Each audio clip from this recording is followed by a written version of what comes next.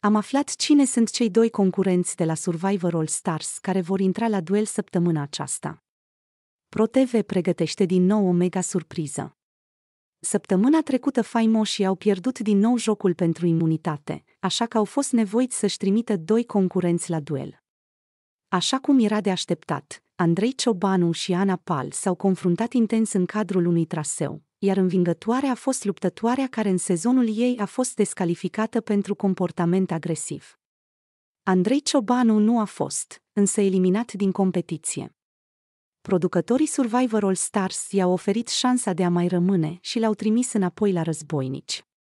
Nu toți s-au bucurat de venirea acestuia în echipa albastră. Mai ales Sorin Pușcașu, care se află în conflict cu fostul lui coleg de ceva timp și nu ratează nicio ocazie să-l jignească. Andrei Ciobanu nu va scăpa nici în această săptămână de duel. Faimoșii se vor impune de data aceasta la jocul pentru imunitate, iar războinicii o vor nominaliza pe Eternal Lola, care va trebui să-și înfrunte colegul care a făcut până acum ping-pong între echipe din cauza schimbărilor bruște de regulament. Cea mai mare surpriză de la Survivor All Stars dacă analizăm clasamentul Survivor All Stars, vom constata că existau concurenți mai slabi decât Lola, care nu merita din punct de vedere sportiv să fie propusă din nou. La capitolul eficacitate Alexandra Dul și Sorin Pușcașu au rezultate mai modeste. Așa că ei ar fi meritat să intre la duel.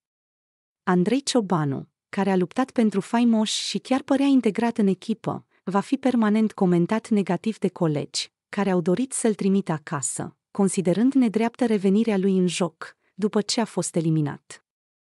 Maria Chițu rămâne cea mai mare surpriză de la Survivor All Stars sau mai bine zi eliminarea ei din joc.